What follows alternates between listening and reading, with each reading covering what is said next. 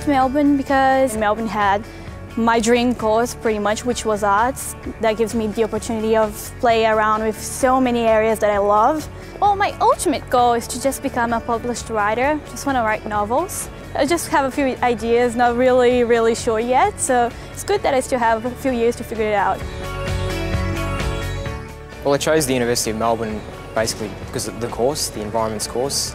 I like the freedom it offered because in the first year you have that, um, that option to study a broad range of disciplines and then after you can choose in your second year what major you plan to choose and you're more in focus with what you know, your major is going to be about. So it's been, it's been intense, but it's, it's satisfying. Hopefully I can get a job with an architecture firm, gain some experience, yeah, that'll be good.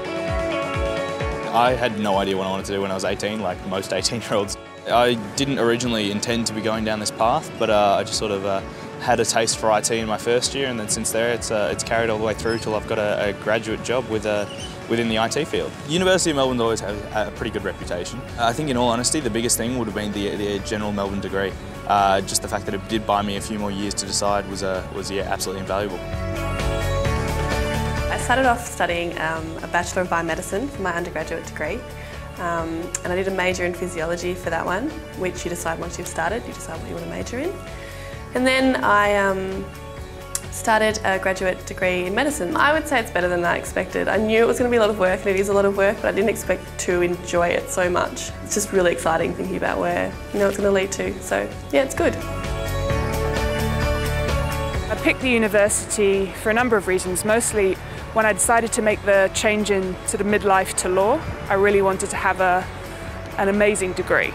I've worked really, really hard. It was always my aim to get the most out of this experience and so I've spent a lot of time in the library upstairs um, but I've also made uh, a group of friends that I'll have for the rest of my life. I've enjoyed uh, human rights law, I've enjoyed international law, um, but I've also loved property and international, uh, intellectual property and yeah, the oddest things you suddenly find you're interested in.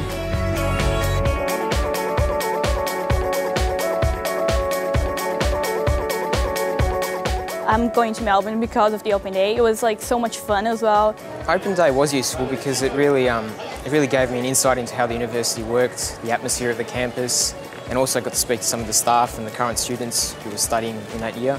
And if you're coming to open day, which absolutely you should, because that's when you can ask, you know, what was the course like, or how many hours do you study, or you know, is it harder than high school? The sort of things that you absolutely want to know before you start. You got freebies and you had fun activities to do and you got to meet a few people that actually uh, were already students. I've met a lot of uh, students, high school students, who are thinking about law and trying to design the path to law. So getting to talk to somebody about that, I think that's an incredibly valuable thing.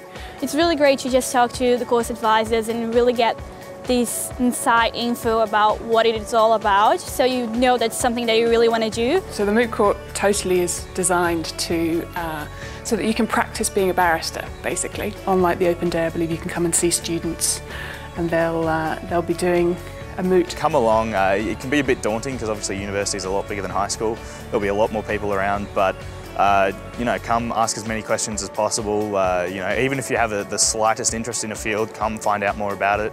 A good chance for even people who are studying now to go and check out, you know, postgraduate and further study options. To make the most of Open Day, you should really plan it and plan ahead. Um, look at the course guide, plan where you're, going to, where you're going to go on campus because it is a very large campus. Ask questions about the course, what subject requirements you'll need to have, so go to the Open Day website. You get to choose whatever activities you want to do that day. So definitely check that out and be prepared so you have more time to enjoy and have fun.